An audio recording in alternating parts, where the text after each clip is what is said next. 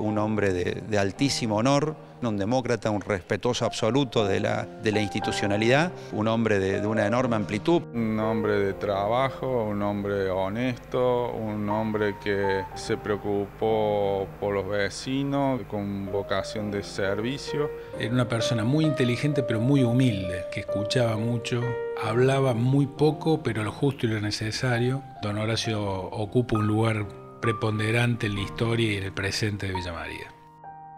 Es un hombre con mayúscula, ¿eh? es un hombre maravilloso. A todos nos asombraba su lucidez, su vitalidad, sus proyectos y su cariño por la ciudad de Villa María. Por lo tanto, la ciudad de Villa María, frente a su pérdida, yo creo que tiene que tener un profundo sentimiento de gratitud. Yo creo que tiene que tener un profundo sentimiento de gratitud.